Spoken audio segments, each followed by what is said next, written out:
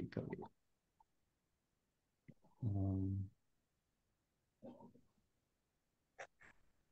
right um, අපි uh, ජීවිතයේ ජය ගන්න කෙසේද කියන මාතෘකාව යටතේ මේ දවස්වල ප්‍රධාන යතුරු කිහිපයක් අපි බලාගෙන යන ගම පසුගිය දවසේ අපි බැලුවා අපේ සිටිවිලි තෝරා ගැනීම. අපේ පළවෙනි මේ යතුර ඔයාලා මොකක් හරි එකක් මිස්සලා තිබ්බොත් uh, රෙකෝඩින් වලට යන්න YouTube channel එකේ කලින් තිබ්බ මාතෘකා මම හිතන්නේ මාතෘකා හතරක් විතර පහ වෙලා තියෙනවා. පළවෙනිම දේ අපේ දර්ශනය පුළුල් දැක්මක් අපිට තියෙනට අවශ්‍යයි.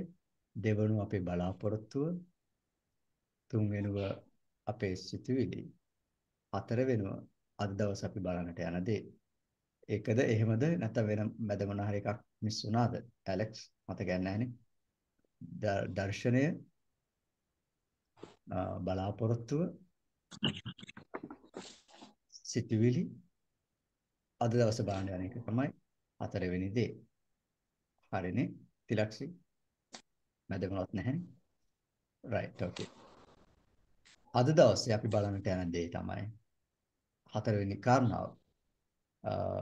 වැදගත්ම දේ මම ඔබත් එක්ක මේ බෙදා ගන්න දේ මගේ ජීවිතේ මට ප්‍රතිඵල දුන්නා මං අත්විඳා සාර්ථකම දේවල්.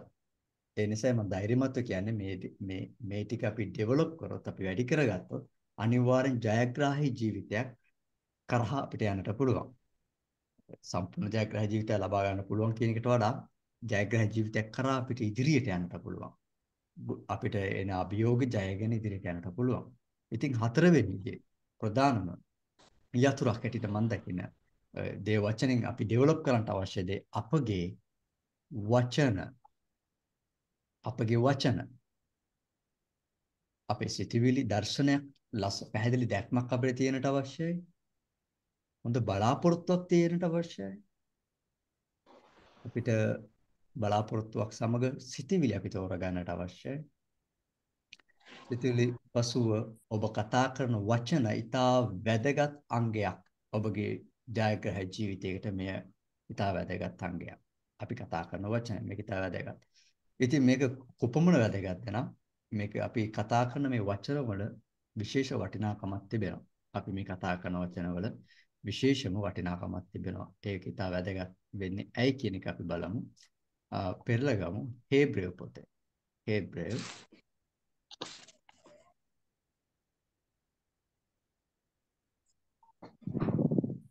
හේබ්‍රේව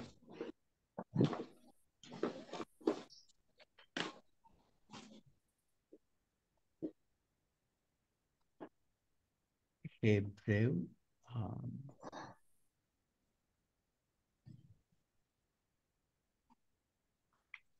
දහතුන්වෙනි පරිච්ඡේදයේ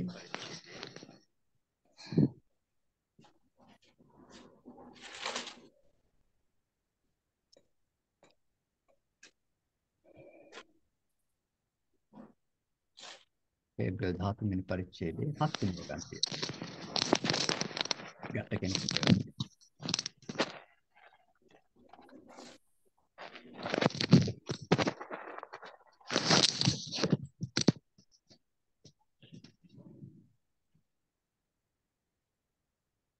කියවන්නද පාස්ටර්? කියවන්න.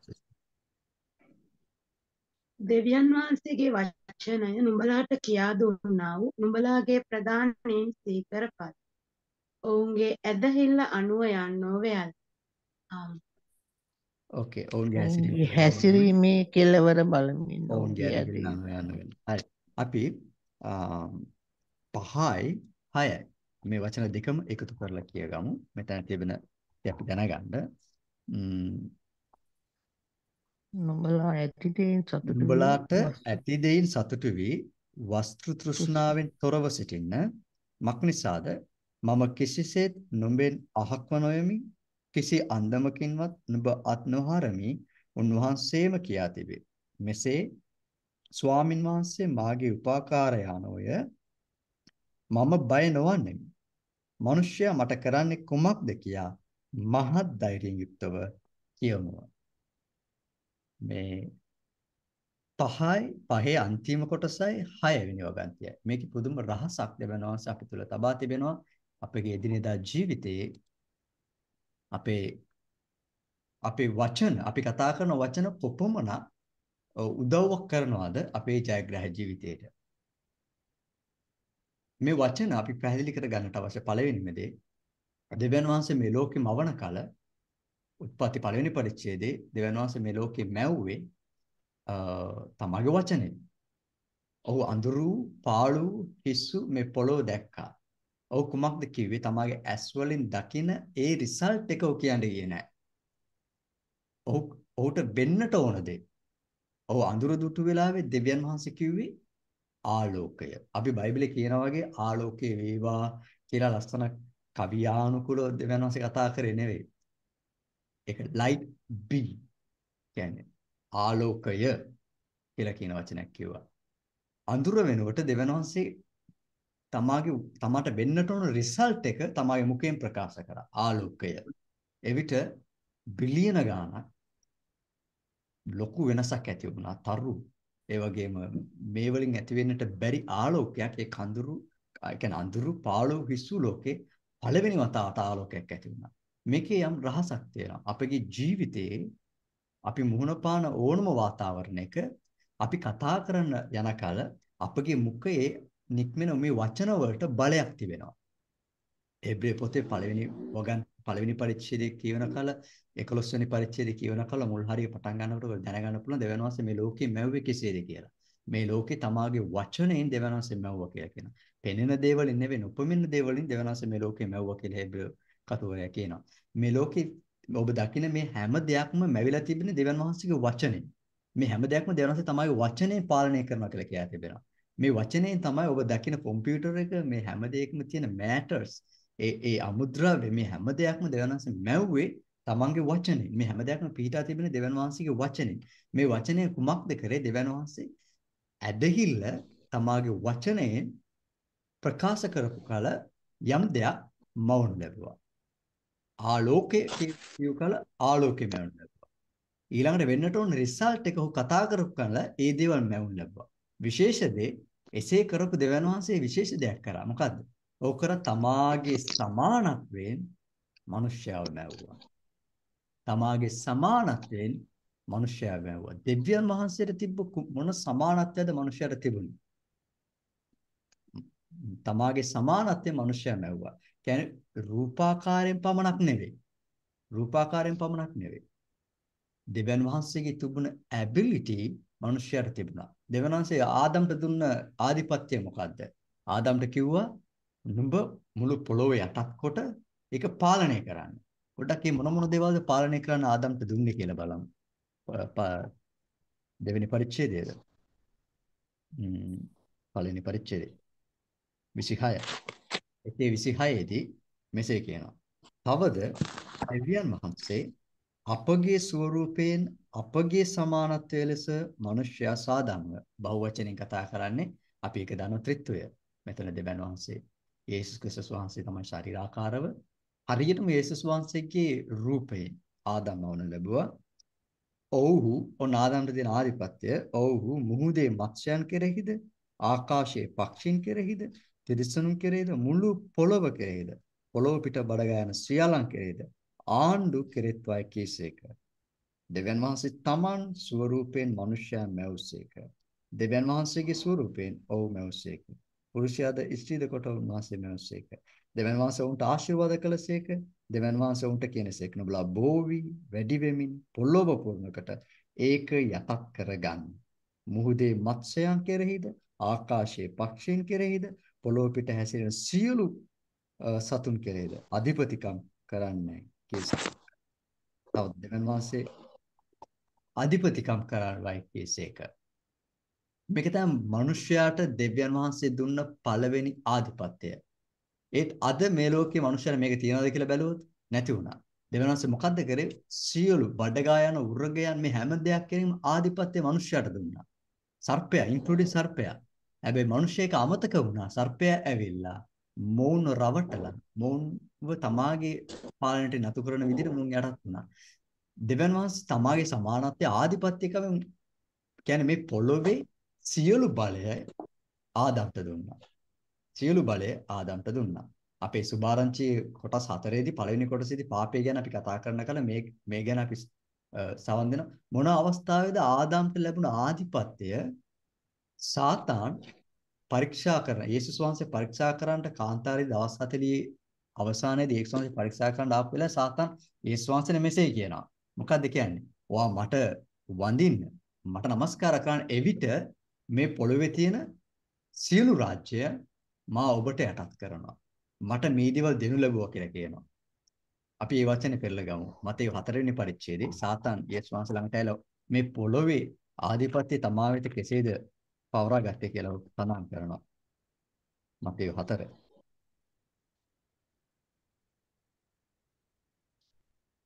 මතේ 4 හතරේ 8 මතේ 4 8 නැවතත් යක්ෂයා උන්වහන්සේ ඊතා උස් කන්දකට පමුණුවා. ලෝකයේ සියලු රාජ්‍යයන් ඒ ආශ්චර්යද උන්වහන්සේට පෙන්වා. ඔබ බිම වැටි මට নমස්කාර කරන්න. එහෙනම් මේ සියල්ල ඔබට දෙන්නෙමි උන්වහන්සේට කීවේය මේ දේවල් මට තිබෙනවා මට নমස්කාර කරොත් මම ඔබට මේවා දෙන්නෙමි කීවේය. මේ මේ සිද්ධියම අපි ලූක් සුභාරංචි පොතේ බලමු ලූක් 4 වෙනි පරිච්ඡේදය. සාතන් කෙසේද සමාව සඳහන් කරගන්නේ කියලා. ලූක් 4. යපරින් කියවන ලූක් 4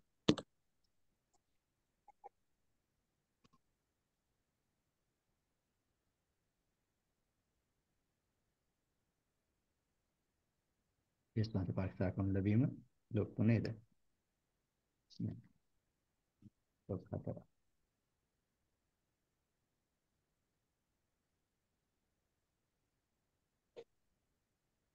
හතරේ පහ.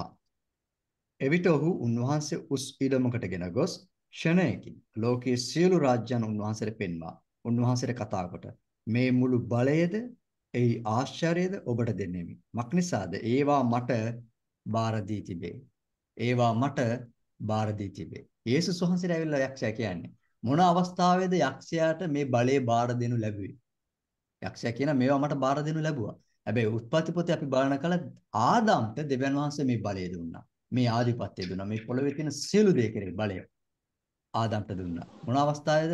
ආදාම්ට මේ මේ මේ ලෝකයේ තියෙන කියන්නේ මේ ලෝකයේ තියෙන ඩීප් පේපර් එක කියන්නේ බලපත්‍රය දෙවියන් වහන්සේ දුන්න ආදම්ට. ආදම් ඒක දෙවියන් වහන්සේට අකීකරු වුණ නිසා යක්ෂයාට බාර දුන්නා. ඒ බලපත්‍රය එදා යක්ෂයා අතර ගත්තා. ඒ බලපත්‍රය අතේ තියාගෙන තමයි යක්ෂයා යේසුස් වහන්සේට කිව්වේ මට මේ සියලු දේ බාර දෙනු ලැබුවා.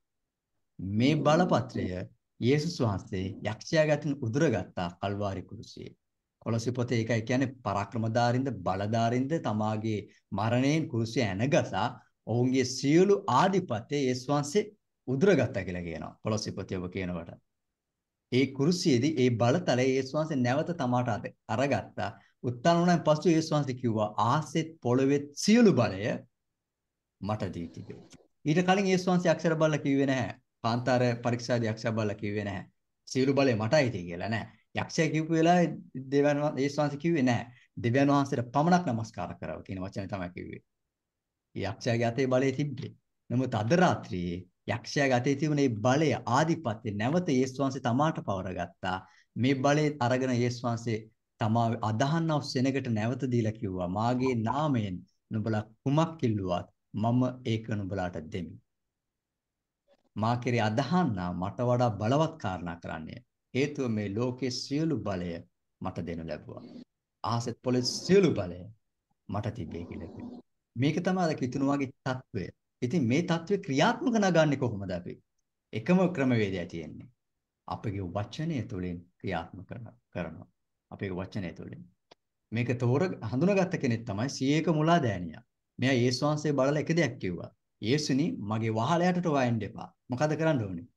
ඔබ එක වචනයක් කියන්නේ. ඒ වචනේ මගේ දරුවා එක අවස්ථාවක එයාගේ දරුවා එක අවස්ථාවක එයාගේ දාසයා සුභාරංචි පොත් හතරේ මුලා දැනින් දෙදෙනෙක්ගේ කතාවක් වෙන වෙන ආකාරයෙන් කියා තිබෙනවා. යේසුස් වහන්සේ තමයි වචනේ යවලා සුවකරොත් ඇති කියලා. ඒතර යේසුස් වහන්සේ ආශ්චර්යමත් වුණා. පුදුම වුණා. පුදුම වෙලා වටේ ඉන්න අය බලලා කිව්වා මේ මහත් මේ ඇදහිල්ලක් මම මුළු ඊශ්‍රායලවත් දැක්කේ නැහැ කියලා. මොකක්ද ඒ ඇදහිල්ල? ඔය ඒකේ අර්ථ අර්ථකථන කරන සියයක මුලා දැනිය මම බලයට යටත් මිනිස්සෙක්. මන් දන්නවා බලයට යටත් මිනිස්සෙක්ගේ වචනෙට තියෙන බලය. මං කෙනෙක්ට මේක කරන්න කිව්වොත් ඔහු ඒක කරනවා. කෙනෙක්ට මම ඒක නොකරන්න කිව්වොත් ඒක කරන්නේ නැහැ. මම වචනය කියන්න ඕනේ හේතුව මම බලයට යටත් මිනිස්සෙක්. ඔහු ඒක තේරගත්ත විදිය. අද ඔබයි මමයි දෙවියන් වහන්සේගේ බලයට, ආධිපත්‍යයට, දෙවියන් වහන්සේගේ ආලේපයට, අලුත් ගිවිසුමට යටත් මිනිසයන් කියන එක අපි තේරුම් ගත්තා නම් අපි දැනගන්නවා අපේ වචනේ බලයක් තිබෙන බව. වචනයක් කිව්වොත් ඇති. දෙවියන් වහන්සේ ආදාම මවපු වෙලාවේ ඔබ විශ්වාස කරන්න ආදාම් පැය 24ක් ඇතුළත මේ ලෝකයේ සිටින සෑම ස්පීෂිස් සෑම ජීවියකටම නම් තිබ්බා. අද ලංකාවේ විශේෂ ජීව කොට්ටාස් වල අලුතෙන් හොයාගෙන ඒක නම් තියලා විශ්වකෝෂයට ඇතුල් කරනවා. එයාට වෙනම PhD කමක් දෙනවා මෙයා අලුතෙන් මේ මේ ජීවියෙක් හොයාගත්තා කියලා. හැම රටකම මේ වගේ දේවල් වෙනවා. ඒත් ආදාම් 6 වෙනි දවසේ ඔව් මම ලැබුවන් පස්සේ 7 වෙනි දවසේ නිවාඩු ගන්නට කලින් ඒ අතර වකවානුවේ ඔයගලන් උත්පත්ති පොත කියවලා බලන්න සෑම ජීවියකටම නම් තැබුවා. කොහොමද ආදම්ට ඒක වුනේ? පුළුවන් වුනේ.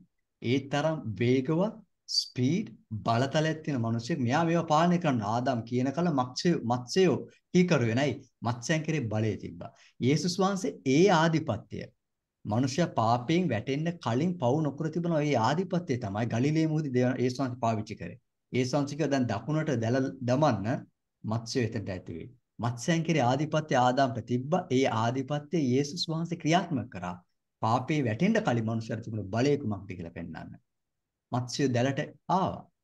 යේසුස් වහන්සේ මේ බලය කොහොමද ක්‍රියාත්මක කරේ? ඒ ඒ ආදම් තිබුණා ওই බලය ඔහුගේ වචනයේ ආධිපත්‍ය තිබුණා. අද ගැලවීම ලැබුවා දෙවන වහන්සේ පිළිගත්තා ඔබ මගේ අපේ හැම කෙනාගේ මේ වචනයේ බලය තිබෙනවා.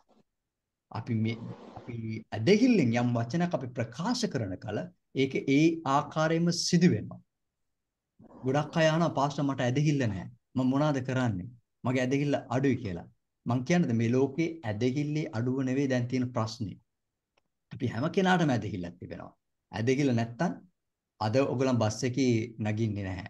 නගින්න කලින් ඔයගොල්ලන් ගිහලා කන්ඩක්ටර්ගේ ලයිසන් එක චෙක් කරනවා. සෝරි කන්ඩක්ටර් නෙවෙයි ඩ්‍රයිවර්ගේ ලයිසන් එක චෙක් කරනවා. නැත්තම් ඩ්‍රයිවර්ගේ ගිහලා බලන එයා බීලාද කියලා චෙක් කරනවා. වයස කීයද කියලා බලනවා. එයාට ඇස් හොඳට පේනවද කියලා බලනවා. ඇයි? ඔයගොල්ලන් ඔයගොල්ලන් සුවර් නැහැ. ඇදහිල්ලක් නැහැ. ඇදහිල්ල කොච්චර ලොකු නන්ද බලන්න ඔයගොල්ලන් බස් එක නැගලා නිදාගෙන ඉන්නවද? මනුස්සයා දැකලා නැහැ ඩ්‍රයිවර් වයසද කියලා දන්නේ නැහැ. හරි ලයිසන් එක තියනවද කියලා දන්නේ නැහැ. මිනිහා බීලාද කියලා සැකයක් නැහැ. ඔයගොල්ලන්ට පුදුම ඇදහිල්ලක් තියෙන්නේ. නගිනවා නිදා ගන්නවා. තැනේ ගිහලා බහිනවා කියන ඇදහිල්ලක් තිබෙනවා. ඒ වගේ තමයි ෆ්ලයිට් එකේ. ගිහලා වයසක පයිලට් කෙනෙක්ද බිව්වා දානේ හරියට නිදාගත්තද දන්නේ නැහැ මේ මිනිස්සයා ඊයේ රෑ. ගිහලා පයිලට් හම්බෙලා පයිලට් බලලා මම වාට ආඥා කරන්න කැමති පයිලට් තුමෝනේ වාට වයස කීයද? රෑ හොඳට නිදාගත්තද මොනවත් අඩියක් එම ගහලා නැහනේ මහත්තයෝ. හොඳයිනේ සුවර්නේ කියලා එහෙම දෙයක් අහන්නේ නැහැ. පයිලට් එක නැගලා මේ ජනේලි ගාව සීට් එකක්ද කියලා බලනවා. කාගෙන් හරි බැඳලා හරි සීට් එකක් ඉල්ල ගන්නවා. හොඳට කටවලා නිදාගෙන මේ උඩ උඩු ගුමනෙත් නිදාගෙන යනවා. ඒ තරම් සුවර් එකක්. ඇදහිල්ල කොහේ හරි ඔබට තියෙනවා. ඇදහිල්ල නැති කෙනේ ප්‍රශ්නේ. ප්‍රශ්නේ තියෙන්නේ ඔබ ඇදහිල්ල මොකක් මතද තබා තිබෙන්නේ? ඔබගේ ඇදහිල්ල කුමක් මතද ඔබ තබා තිබෙන්නේ කියන එක තමයි ලොකුම ප්‍රශ්නේ. අද හැම කෙනාටම ඇදහිල්ලක් තියෙනවා. බෞද්ධ ආගමික ගන්න ඔහුට ඇදහිල්ලක් තියෙනවා. ඉස්ලාම් බැතිමතික් ගන්න ඔහුට ඇදහිල්ලක් තියෙනවා. ඔහු පස්වෙරක් යාඥා කරනවා. යම් ඇදහිල්ලක් ඔහුට තිබෙනවා. හැබැයි ඒ ඇදහිල්ල කවුරු මතද තබා තිබෙන්නේ කියන එක තමයි ප්‍රශ්නේ. ඒ නිසා කවුරුත් කියන්න එපා මට ඇදහිල්ල නැහැ මට ඇදහිල්ල අඩුයි කියලා නැහැ. අපි හැම කෙනාටම පුළුවන් තරම් ඇදහිල්ල තිබෙනවා. ඒ තියෙන ඇදහිල්ල අබෑටයයි දෙවියන් වහන්සේගේ රාජ්‍යයේ කන්දක් වෙනස් කරන්න අවශ්‍ය වෙන්නේ. ඔබට ඇදහිල්ල තිබෙනවා. යම් අවස්ථාවක ඔබට එහෙම සැකයක් තිබුත් කියන්නේ නැහැ මට ඇදහිල්ල තිබෙනවා. ඇදහිල්ල නැත්තම් දැන් මේ මොහොතේ ඔබ ඔය ඉඳ ගන්න ඉන්න පුටියවත් ඉඳගන්නේ නැහැ. පොඩ්ඩක් අල්ලගෙන අත ගාලා නිකන් බලලා තමයි ඉඳගන්නේ. මේක අවුරුදු ගාණක් පරණයි අපි දරා ගන්නවද? මේක ඇතුලේ වෙන සත්තු ඉන්නවද? මොකු ඉන්නවද කියලා දන්නේ නැහැ. අපිට ඇදහිල්ල තිබෙනවා. ඉතින් මේ ඇදහිල්ල ක්‍රියාත්මක කරමින් වෙනවා අපි කතා කරන වචනේ තුල. ඒ කොහොමද? ඔබ ඔබ ඔබ ඇදහිල්ලෙන් යුක්තව ජයග්‍රාහී වචන කතා කරන කල ඔබට ජයග්‍රහය ගෙන එනවා. ඒ ඇදහිල්ලම ඔබ පරාජිත දේවල් මත තබා පරාජිත දේවල් කතා කරන කල පරාජිත දේවල් තමයි ගෙන එන්නේ. රිසල්ට් එක පරාජිත. පරාජය. ඊට දවසේ මොකද්ද කරන්න යන්නේ? රෝගය සුව වෙනවද? ඔව් පාස්ටර්. සමහර විට මොකද්ද ඔක කරන්නේ? ඔබගේ ඇදහිල්ල ඔබ පරාජය පැත්තට ඔබ තබා තිබෙනවා. පරාජය පැත්තට. මේක ඔබව පරාජය රිසල්ට් එක පරාජය. ජයග්‍රහයි වචනම කතා කරන ඉගෙන ගන්නට අවශ්‍යයි. සමහරක් වෙලාවට අපේ අය හිතනවා මේ මටත් ඒක තිබ්බා පස්සේ මම හදාගත්තා. වා පාස්ටර් අද නම් මට මාර වැඩක් වුණේ කියලා කිව්වා. මාර වැඩක්. මොකක්ද ඒ උනේ? දැන් බලන්න අපි අපි නොදැනුවත්ම අපේ වචන වලින් අපි යම් දෙයක් වැරදි දෙයක් ප්‍රකාශ කරනවා. මාරයාගේ වැඩක් වෙලා තියෙන්නේ. මාර වැඩක්. ඒක නෙවෙයි වෙන්නට ඕනදී. අපි නොදැනුවත්ම අපේ ගොඩාක් වචනවල ඒකේ පිටිපස්සේ අපේ ඇදහිල්ල ක්‍රියාත්මක කරනවා. ඒ වචන රිසල්ට් එක ගෙනියනවා. දැන් ගෙදර කියමුක ඇන්ටි කෙනෙක් ඉන්නවා. ගෙදර ඉන්න කට්ටිය ට්‍රිප් එකක් යන්න ප්ලෑන් කරනවා. ඒ ඇන්ටි උදේ ඉඳන් රෑ වෙනකන් අනිත් දවසේ එළිනකන් දෙයක් කියනවා. මොකක්ද එයා කියන්නේ? ආපු හරියන්න හරියන්න වහින්ද යන්නේ වහින්ද යන්නේ ඕගොල්ලන් ගිහිල්ලා ওই වැස්සේ තියලා ඉම්පිරිස්සව අදාගෙන පුදුම කර්මයක් මේ ගෙදරට ගේන්න යන්නේ. ඒ ඇන්ටි හරියට අනාවකි කියන වගේ කියාගෙන ඉන්නවා. අන්තිමට ට්‍රිප් එක පිටත් වෙන පටන් ගද්දි වැස්සනවා. අපි මුන් ඔක්කොම ඉතින් ගිහිල්ලා නාය ඔටු පෙරාන ගෙදරට ආපෙලා ඇන්ටි කියන ඕ කිව්වේ මං කිව්වේ මගේ කිව්ව අහනවද නැද්ද? දැන් මෙතන ප්‍රශ්නේ ඇන්ටි අනාවකියක් කියනව නෙවෙයි. ඇන්ටි පරාජය ප්‍රකාශ කරලා ඉවරයි. වැඩක් පටන් ගන්නට කලින් අනාවකි නෙවෙයි ඒකට අපි කියන්නේ. එයා ප්‍රකාශ කරලා හමාරයි. ඔබ ප්‍රකාශ කරන දේ ප්‍රවේශම් විය යුතුයි.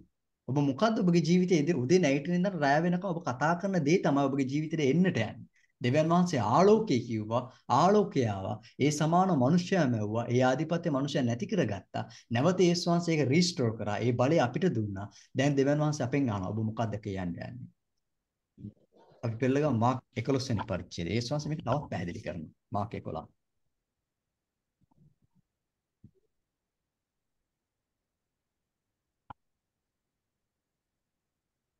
මාක් 11 වෙනි පරිච්ඡේදය. ඔබගේ ජීවිතයේ ඔබ ජය ගන්නට පුළුවන් ඉතාම ප්‍රධානම දෙයක් තමයි ඔබගේ වචනේ වෙනස් කරන්න. ටියුන් පොඩ්ඩක් ටියුන් එක වෙනස් කරගත්ත ගමන් ඒ තුල බලය නික්මෙනවා. ඔබගේ ජීවිතයේ තියෙන දේවල් වෙනස් කරන්න එක බලවත්. මතේ 11 වෙනි පරිච්ඡේදය. අපි හොඳටම දන්න කොටසක්. ඒකේ කියවමු. ඒකේ සමහරක් වචන අපි වෙන වෙන වශයෙන් බලන කල ලොකු දෙයක් ඒකක් වෙලා තිබෙනවා. 11 වෙනි පරිච්ඡේදයේ ඇදහිල්ලේ බලය සම්බන්ධව කතා කරන්න කලින් පළ නැති ඇතික ගහස ළඟට ඒස් වංශය යනවා. එහි ඵල නැති බව දකිනවා. දැකලා ඒකට සාප කරනවා.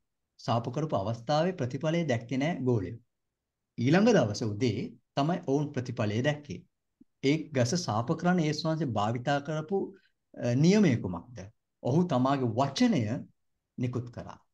අද පටන් මොකක්ද කිව්වේ? අද පටන් කිසිවෙක් නුඹේ ඵල වෘත්ති විඳින්නේ නැහැ. 11 වෙනි වචනේ 14 උන්වහන්සේ කතා කොට බලන්න උන්වහන්සේ කතා කරාලු. කාටද කතා කරේ? අත්තිකා ගසට. ඒ සංසේ කතා කරා. කාටද කතා කරේ? අත්තිකා ගසට. ඒ ඉංග්‍රීසියෙන් ඔයගොල්ලෝ කියවන කල මේ කතා කරා කියන වචනේ ග්‍රීක භාෂාවේ පරිවර්තන කරලා ඇම්ප්ලිෆයිඩ් වර්ෂන් කියලා බයිබල් පරිවර්තනයක් තියෙනවා. ඒකේ ග්‍රීක මුල් ග්‍රීක භාෂාවේ තියෙන පදයමයි එහෙම පරිවර්තන කරන එකට ජීසස් රිප්ලයිඩ් කියලා කියන්නේ. යේසුස් වහන්සේ පිළිතුරු දුන්නා. කතා කළා කියන වචනයට ග්‍රීක භාෂාව පාවිච්චි කරන ජීසස් රිප්ලයිඩ්. ගහට පිළිතුරු දුන්නාලු. ඒ කියන්නේ ගහ ප්‍රතිවිරුද්ධ ය පණිවිඩයක් යේසුස් වහන්සේ නිකුත් කරගෙන තිබ්බා. වෙන්නේ නැහැ. හරියන්නේ නැහැ. ඵල එන්නේ නැහැ. මගේ මෙච්චරයි. යම් පරාජිත දෙයක් කරපු වෙලාවේ යේසුස් වහන්සේ ඒකට පිළිතුරු දුන්නා. ඔව් අද පටන් කිසිවෙක් කිසි කලක නුඹෙන් මේ පළකන්නේ නැහැ කියලා යේසුස් වහන්සේ කිව්වා. මේ බලය යේසුස් වහන්සේ ප්‍රකාශ කරලා පැය 24 තමයි අන් අය දුටුවේ. ඒ වෙලාවෙම මුල මැරිලා ගියා. අද රාත්‍රියේ ඔබගේ ජීවිතේ ඔබට ඔබගේ ශරීරයේ තියෙන රෝගය වෙන්න පුළුවන්. ඔබගේ ආර්ථික තත්ත්වය වෙන්න පුළුවන්. මේ දේවල් බලලා ඔබට පුළුවන් ශාප කරන්න නෙවෙයි ඔබට පුළුවන්. ඒ දේ අනිවාර්යෙන් ශාප කිරීමක් තියෙන ඔබට පුළුවන් ඒ රෝගයේ යේසුස් වහන්සේගේ නම මම නුඹට විරුද්ධව සිටිනවා. ක්‍රියාත්මක නොවන පිණිස මා නුඹව ශාප කරනවා. මුල පටන් ඒක මැරෙනවා. ඒ විනාඩි ඔබගේ වචනේ බලය ගැප් වෙලා තිබෙනවා. අපි යාඥා කරන රෝග සිව වෙන්නේ කෙසේද? යේසුස් වහන්සේගේ නාමයෙන් ස්වාමිනී රෝගී සුව කරන්න කියන එක එක් අවධියක්. ඊළඟ අවධිය ඇදහිල්ල වර්ධනය වෙනකල ඔබ මොකද කරන්නේ? ස්වාමිනී රෝගී සුව කරන්න කියලා නේ ඔබ කියන්නේ යන්නේ. රෝගී බලලා ඔබ කියනවා cancer, diabetics, paralyzed.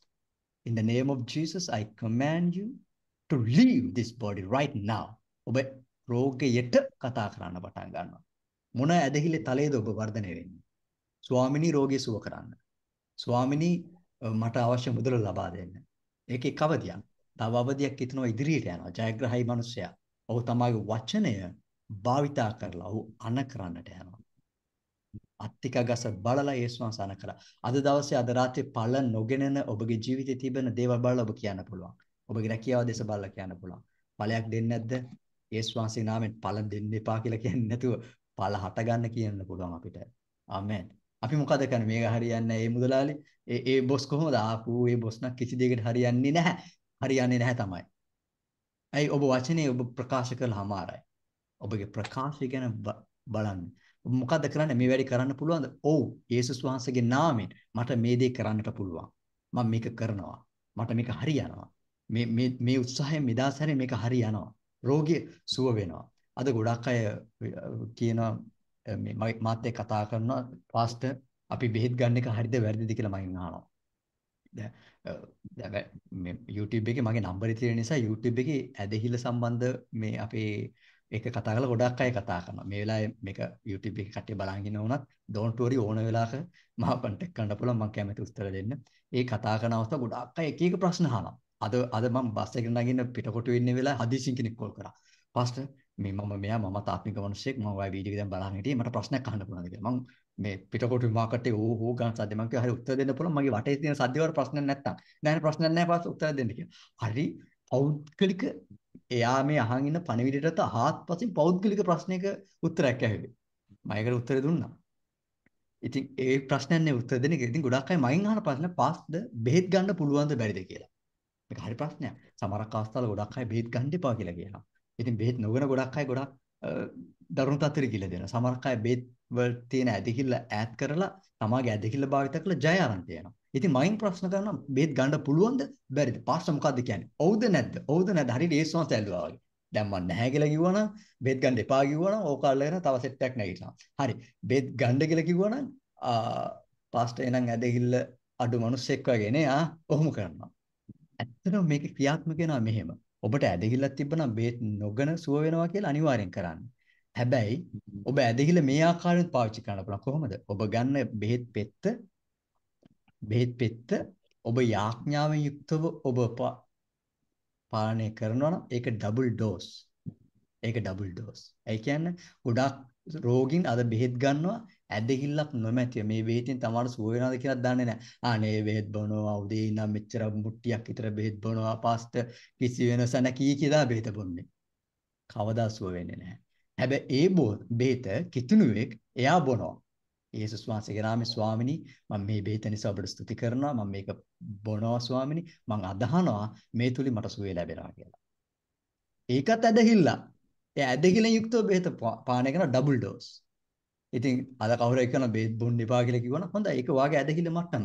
හැබැයි මම ඇදහිල්ල බෙහෙත මත තබනවා නම් ඒකත් ක්‍රියාත්මක කරනවා.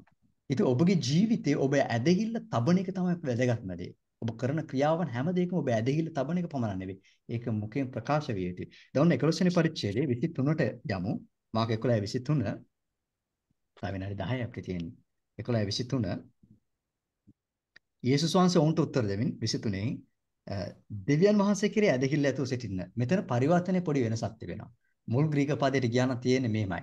දෙවියන් වහන්සේගේ ඇදහිල්ල ඇතුව සිටපන්න. දෙවියන් වහන්සේ තුල නෙවෙයි දෙවියන් වහන්සේගේ ඇදහිල්ල ඇතුව සිටපන්න. මේක තමයි පරිවර්තනය.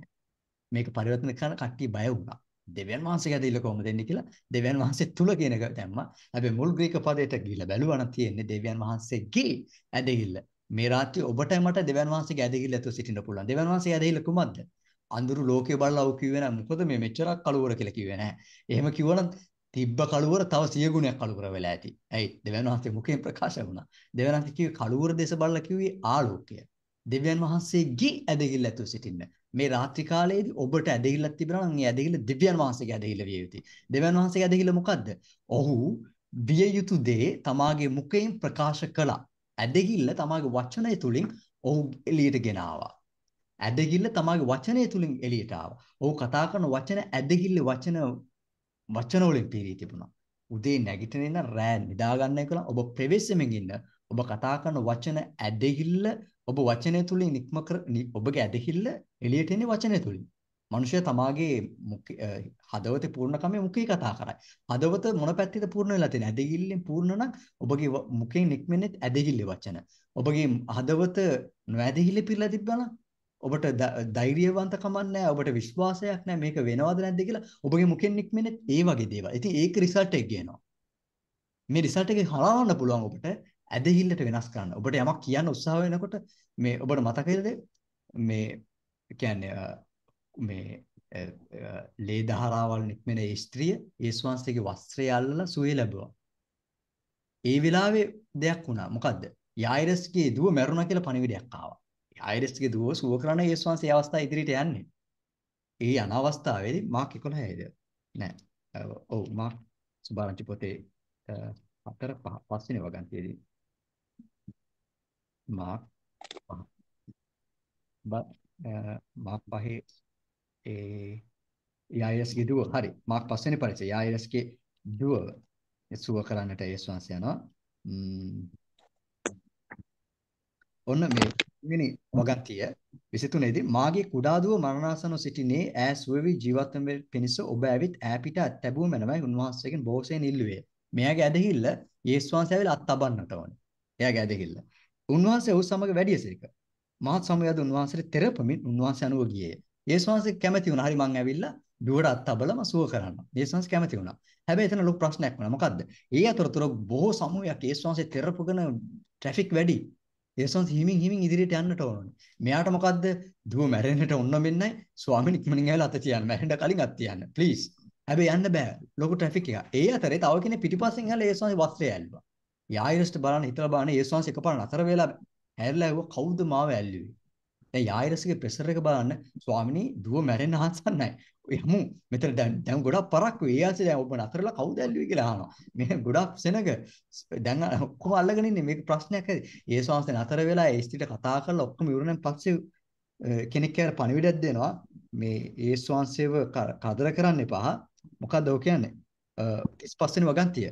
උන්වහන්සේ කතා කරද්දිම සිනගෝගේ මුලාදෑනියාගේ ගෙදරින් සමහරව ඇවිත් බෙදුව මැරුණාය. ඔන්න. ආචාර්යන් වහන්සේ තවත් කුමුකට වෙහෙස කරන්නේ දැයි කීවේය. නමුත් යේසුස් වහන්සේ කීම නොසලකා සිනගෝගේ මුලාදෑනට කතා කොට මොකද්ද කිව්වේ? බය නොවි ඇදහිල්ලෙන් සිටපන්. ඒකට උත්තරේ මොකක්ද දුන්නේ? මුලාදැනේ මොකක්ද දුන්නේ? අනේ යේසුනේ ඒකනේ මං කියපොඩ වේලාසනින් එන්න තිබ්බන මොකද්ද මේ කරගත්ත වැඩේ? දුව මරණා ඉවරක් කොහොම නැහැ නැහැ. මොකද්ද කරේ? හොයලා බලන්න. එහුවත් හොයාගන්න බෑ. එයා දුන්න උත්තරේ මොකද්ද? ඇදහිල්ලින්ම සිටින්න අය ඔහුට කීස් එක. ඔහුගේ ප්‍රෙෂර් එක බිල්ඩ් අප් වුණා මොන හරි දෙයක් කියන්න. ඔහු මොනවත් කිව්වේ නැහැ. තමාගේ හැම දෙයක්ම ඔහු යටපත් කරගෙන දැන් එයාට එකක් කරන්න ඕන වුණා. ඇදහිල්ලෙන් ඉන්න ඕන වුණා. මොනවත් කියන්න එපා. just stay in faith. අද ඔබගේ ජීවිතයේ අපරාජිත සිදුවීමක් වුණාද? ඔබ නොසිතු දෙයක් ඔබගේ ජීවිතේ වුණාද? just stay in faith. ඇදහිල්ලෙන් සිටපන්. මොනවත් කියන්න එපා. වචනයක් ප්‍රකාශ කරන්න. අනේ යේසුනේ දැන් පරක් හොඳම පරකයි මේක උනේ. මං වාට කලින් එන්න කිව්වේ ඒ නිසානේ මේ ආසේ මේ මේ වයසේ කෙනාව නතර කළා. එයා එක්කව කතා කරන් හිටියේ ඒ ආසේ මගේ දුව මැරුණ. නෑ ඇදහිල්ලෙන් සිටපන්. ඒ ඇදහිල්ලෙන් හිටියා. යේසුස් වහන්සේ ඇවිල්ලා නැවත සුවේ දුන්නා. මොනවත් කතා කරන්න එපා. යේසුස් වහන්සේ හැරුණු ගමන් කිව්ව එක දෙයයි. යයිරස් ඇදහිල්ලෙන් හිටියේ. ධෛර්යමත් වෙන්න. ඇදහිල්ලෙන් සිටින්න. ඒක ක්‍රියාත්මක වුණා. දැන් 11 වෙනි පරිච්ඡේදයේ අර රහසට අපි යමු. අපේ මුඛයේ වචනේ තියෙන වැදගත්කම එමාක් 11. යේසුස් වහන්සේ කිව්වා දෙවියන් වහන්සේගේ ඇදහිල්ල ඇතුව සිටපන්න. මේ රාත්‍රියේ ඔබ දෙවියන් වහන්සේගේ ඇදහිල්ල ඇතුව ඉන්න. ඔබගේ ජීවිතයේ තියෙන ප්‍රශ්න ගැටලු දිහා බලන බලන්න දෙවියන් වහන්සේගේ ඇදහිල්ලෙන් යුක්තව. දෙවියන් වහන්සේ මොකද්ද කරේ? අඳුර ආලෝකයෙන් වෙන් වේවා කිව්වා. ඒක එසේ වුණා. දෙවියන් වහන්සේගේ ඇදහිල්ල. අද දවසේ ඔබ කියන්න රෝගය මාගේ ශරීරයෙන් වෙන් වේවා. දිලිඳුකම මාගේ ජීවිතයෙන් වෙන් වේවා. අසරණකම මාගේ ජීවිතයෙන් වෙන් වේවා. අසමගිතාවය මාගේ පවුලෙන් වෙන් වේවා. දෙවියන් වහන්සේගේ ඇදහිල්ල මුඛයෙන් ප්‍රකාශ කරා දෙවියන් වහන්සේ. 11 වෙනි පරිච්ඡේදයේ 23 23 සැබෑවක් නුඹලාට කියන්නේ. කවරෙක් නමුත් මේ කන්දට කතා කොට කවරෙක් නමුත් මේ කන්දට කතා කොට මොකද කරන්න ඕනේ? කන්දට අත් කතා කොට යේසුස් වහන්සේ කොහෙටද කතා කරන්න කිව්වේ? කන්දට. ඔබගේ ප්‍රශ්නෙට කතා කරන්න ඉගෙන ගන්නට අවශ්‍යයි. ඔබගේ ප්‍රශ්නෙට කතා කරන්න ඉගෙන ගන්නට අවශ්‍යයි. මට මට තිබ්බා ලක්ෂ 8ක මුදලක ප්‍රශ්නයක්. ලක්ෂ 8ක. දැනට අවුරුදු 5ක් තිස්සේ මම ඔකත් එක්ක සටන් අදිනවා. ලක්ෂ 8ක්. ඒක මේ රජයෙන් බලේ මගේ ඔළුවට පටවපු දඩයක්. ගෙව්වේ නැත්තම් මේ වෙනවා කියන රජ. ඉතින් ලක්ෂ 8ක් ලක්ෂ 8කට වැඩේ කියන්නේ ඒකට මේ ආනපකරුව හැටියට මගේ ඇසිස්ටන්ට් පාස්ලා දෙන්නට තමයි දාලා දෙන්නේ. මුට ලක්ෂ 4 මුට ලක්ෂ 4 දෙන්න අංග බැදලා දාලා දෙන්නේ. මේ ඇදෙන්න නැත්තම් ඔයගලන් දෙන්න දෙන්න වෙන්නේ. ඒ මිනිස්සුන්ව ඇඟිත් ලක්ෂ 4 4 බැදලා. ඉතින් කොහොම තමයි එළියට දාලා දෙන්නේ. මේ ප්‍රශ්නේ තිබ්බ වෙලාවේ මම මේ ඒ දවස්වල ඒ කියන්නේ දැනට අවුරුදු අතකට උඩදී මේ වචනේ මම ඉගෙන ගත්තා. මේ ආකාරයෙන්. මම මොකද්ද කරේ? මගේ ගෙදර white board එක. මේ white board එකේ ලක්ෂ 8 අකුරු වලින් ලියලා මං මං මාසයක් හැමදාම මේක එතන මකන්න කාටවත් අයිතියක් නැහැ. ලොකු කන්දක් මෙහෙම ඇඳලා කන්දක් වගේ එකක් ඇඳලා ඒකේ ලක්ෂ 8 මන් ලියලා තිබ්බා අකුරු වලින්. ගණන් වලින් දෙකෙන්ම ලක්ෂ 8 ලියලා මම මේක කරා. මං කියන්නේ මං ඔයගොල්ලෝ මං ජයග්‍රහය ගත්තේ මං කියන්නේ. මම ඒක බලලා හැමදාම උදේ මට ප්‍රශ්න ඇති වෙන වෙලාවේ මම ඒක බලලා කියන යේසුස් වහන්සේගේ නාමයෙන් නුඹ මගේ ජීවිතෙන් පහ වෙන පිණිස මම අණ කරනවා. මම ඒක දිස බලලා ප්‍රකාශ කරා. දක්ෂට මුදලා. ඔය දන්නවද? අද උදේ ඒ ලක්ෂයට පහ වෙලා ගියා. ජච්චයිලා තීරණය තීන්දුව දෙන්න පටන් ගන්න අවුරුදු 5කට උඩදී මම ප්‍රකාශ කරන පට අද උදේ මම කොළඹට ගියේ ඒ නිසායි. තීන්දුව කියලා කිව්වා. දැන් තීන්දුවට මම යන්න ඕනේ. මම මේ වෙන යාඥා කරන්න කියලා ගොඩක් අය ඉල්ලලා තිබ්බා. මට ඇදහිල්ල තිබ්බා. මම මාත් එක්ක ඇදහිලි කට්ටි හිට ගන්නට ඕනනේ. මම කිව්වා yes just pray for that. මං ගිහලා ඉඳගත් ඒ හිටගත්තා. මාව කතා කරා. දැන් මට වඩා මගේ ඇසිස්ටන්ට් පාස්ලා දෙන ඒ දෙන වෙවුඩෝ ඉන්නවා. මොනවා කියද්ද දන්නේ දැන් මගින් ලාට කිල්ලද මෙයාගේලා විතර මොනවා කරයිද දන්නේ නැහැ. මේ නිසා අපි ගියා. දෙක තමයි ජජ් කිව්වා මෙහෙම බලලා. අදාළ සාක්ෂි නැති නිසා මෙයාව ඒ කියන්නේ මෙහෙම කිව්වේ ඒක වචනයක් පාවිච්චි කරා මෙයාව නඩුවෙන් නිදහස් කරනවා ගැන වචන වල තව වචනයක් භාවිතා කරා. අමතක නැහැ වචන. සම් මට ඒක තේරුන්නේ නැහැ. නිදහස් කියනන්නේ මට දන්න පදේ මේ මොකද්ද මේ කියවල මම එතන නිදොස් කොට නිදහස් කරා. නිදොස් කොට නිදහස්. නිදොස් කොට නිදහස්. නිදොස් කොට නිදහස්. ඒ වචන කලින් යා තව වචන භාවිතා කරා. මෙයාව මේකෙන් අපි මේ නඩුවෙන් තව වචන මම කියන හරි. ඉතින් මම ඒක ඒක වහලා කියලා නිදහස් කරලා නිදහස් කරා කියලා කිව්වට පස්සේ මම කූඩුවේ හිටිය වෙලාවෙම ළඟම ඊට පොලිස් කර වහම බහින්න වහම බහින්න මාත්‍යා කිව්වා. ඇයි? එතනින් යන ඔතන ඉන්නේ මම නිදහස් ඔතන ඔතන ඔය කූඩෙන් බහින්න කිව්වා. බැලලා ඊට පස්සේ කූඩේ එළියේ හිටියේ. ඊට ටික කතා කරලා ඉවරනකම්. වාව් ඒ කියන්නේ ලක්ෂ 8ක මුදලක් ඉතින් රුපියලක්වත් ඔයා ගැන අවශ්‍යතාවයක් නැහැ. ඔයා ගැන මේ කරපු කිසිම චෝදනාවක් සාක්ෂි රහිතයි.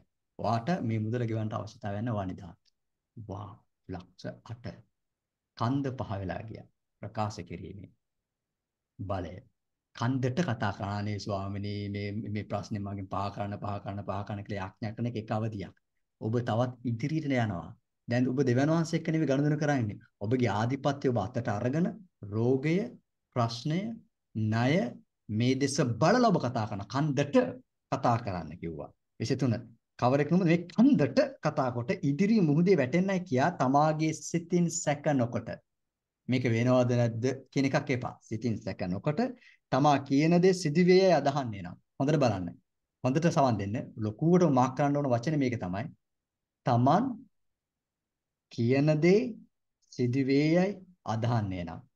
ඔබ අදහනවා ඔබ කියන දේ සිදුවෙන බව. අද ඔබ කතා කරන හැම වචනයක්ම පිට පිටිපස්සේ තියෙන ඔබ අදහන එක. ඔබ ඔබගේ ජීවිතයට ගොඩක් දේවල් සිදු වෙලා තියෙන ඔබ ඒක අදහන නිසා බලන්න අද මේ තත් යම් තත්යක ඔබ ඉන්න හේතුව මොකක්ද දන්නවද? යම් කාලයකට කලින් ඔබ කියලා ඇති. ඔව් ඔව් අපි යනවා තමයි අපි පොඩි මුදලක් අපිට හම්බ වෙයි මේ මේ මේ මේ මේ වැඩෙන්. ඒ පොඩි මුදලෙන් අපි පොඩි දෙයක් කරලා අවුරුදු ගාණනාකට පස්සේ කොහොම හරි කරලා මම ඔයාව ගන්නවා. ඒක පවුල මම ගන්නවා ඉතාලියට. එක්ක මේකේ කොහොම හරි කරලා ජීවත් වෙලා ටැක්ස් උත් ගෙවලා ඔන්න ඔහේ මං ජීවත් වෙලා යනවා ජීවත් වෙන කාලේ. ඔබ මොකද කරලා තියෙන්නේ? තමා සිත කියන්නේ තමා කියන දේ සිදු වේයයි. තමා කියන දේ සිදු වේයයි. ඔබ යමක් කියමින් ඉන්නවා. ඔබ අද කියන දේ ඔබ අදහන නිසා ඔබේ ජීවිතේ මේ දේවල් වෙන්නේ. ඒ අදහන දේම යහපත් දේ කියන්න පටන් ගන්න. කොහොමද? මේ අවුරුද්ද කොහොමද වාට? සිස්ටර් කොහොමද ඉන්නේ? අනේ පාස්ටර් දෙවියන් වහන්සේ කරුණාවෙන් ඉන්නවා. දෙවියන් වහන්සේ කරුණාවෙන් ඉන්නවා. ඒ කරුණාව කියන්නේ ඒ වගේ මේ සාමාන්‍ය බනිස්කිරියක් වයින් ඔබ කතා කරන්නේ. කියන්න ඕනේ දෙවියන් වහන්සේ කරුණාවෙන්. ඉන්නේ. හරි දෙවනසේ කරුණාවෙන් ඉන්නවා පස්සේ. ඒකේ දෙවනසේ කරුණාව කියන්නේ හේතුව මේ මොනවත් නැතුව අනේ ආදි හසරණ කමින් ඉන්නේ පාස්ට කියන එකට කියන තවත් හේතුපදයක් තමයි දෙවනසේ කරුණාවෙන් ඉන්නවා. මිනියෝ දෙවියන් වහන්සේ කරුණාව කියන්නේ නෝවට දෙවියන් වහන්සේගේ කරුණාව ලැබුණා මුළු ලෝකෙම විනාශ වුණ වෙලාවේ නෝව රකින්නු ලැබුවා. ඒක තමයි කරුණාව. අද ඒ කරුණාව මොනක් කියන්නේ? කරුණාවෙන් ඉන්නවා පාස්ට. නැහැ. ඒක මහත් විශාල දෙයක්. දෙවියන් වහන්සේ කරුණාවෙන් ඉන්නවා කියන මුළු ලෝකෙම පෙරදුනත් ඔබ ජය ගන්නවා. නෝවා මුළු ලෝකෙම පෙරදුනා. නමුත් නෝවායි පවුල ආරක්ෂා කරන්න ලැබුවා. ඇයි? දෙවියන් වහන්සේගේ ඇස් ඉදිරියේ නෝවට මොකද ලැබුණේ? කරුණාව ලැබුණේ. ඔබ කතා කරන වචනය ඇදහිල්ල මික්ස් කරන්න. තමා කියන දේ සිදුවන්නේයි අදහන්නේ නම් මොකද්ද? ඒක සිදුවේයයි. මේ රාත්‍රියේ යේසුස් වහන්සේ ඔබගේ ඔළුවට අත තබලා විනාඩි විනාඩියක් මම ගන්න මෙතෙන් නතර කරනවා. යේසුස් වහන්සේ ඔබගේ ඔළුවට අත තබලා මෙහෙම කිව්වනම් අද පටන් ඇලෙක්ස් මුකෙන් කියන හැම දෙයක්ම සිදුවේයයි. එකපාරට ඇලෙක්ස් කියන රෑට කමු අපි වම්බටු වම්බටු හොදි හදලා කියලා සින්දුව කියලා ගෙදරට යනකොට වම්බටු හදලා අම්මා. මේ මොකද්ද මේ වෙන්නේ? නාසෙ මේ දවස්වල කියනේ වල සිදුවේ කියන්න එපා.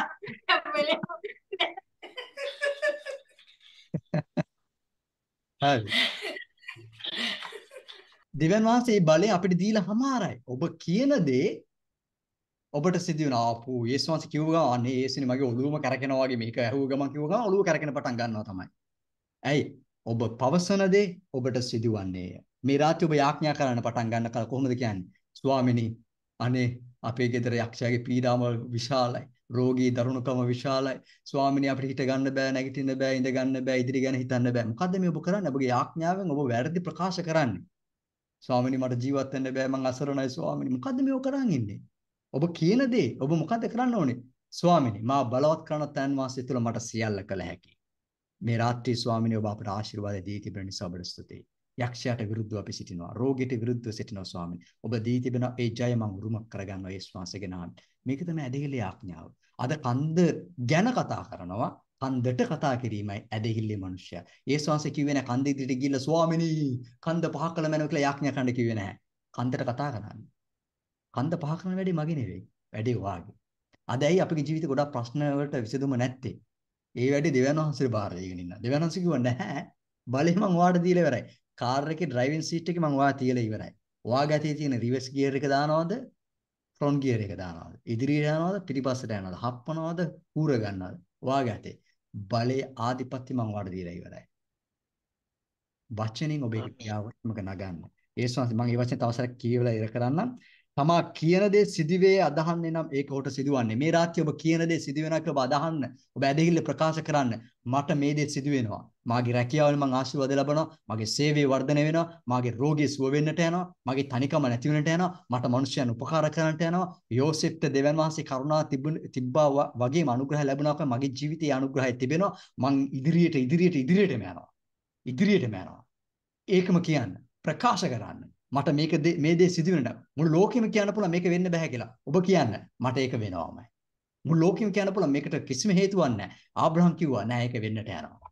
දරුවෙක් ඉපදෙන්නට යනවා. මෙඩිකල් රිපෝට් එක වැරදි. කමන්නේ. එයා ආච්චි කෙනෙක් කියන්න පුළුවන්. නමුත් මම එයාට කතා කරන්න යන්නේ සාරා කියලා. එයා සාරායි නෙවෙයි. එයා සාරා. සාරාගේ සාරාගේ යාළුවෝ කියන්න පුළුවන්. එයා ආබ්‍රම්. සාරා කියන්න පුළුවන්. නෑ නෑ නෑ. එයා ආබ්‍රම් නෙවෙයි. එයා ආබ්‍රම් නෙවෙයි. එයා ආබ්‍රහාම්. ජාතිය පියෙක්. මොකද්ද මේ ආතිට උනේ? එයා ආබ්‍රහාම් ජාතිය පියෙක්. මම එහෙමයි යාට කියන්නට යන්නේ.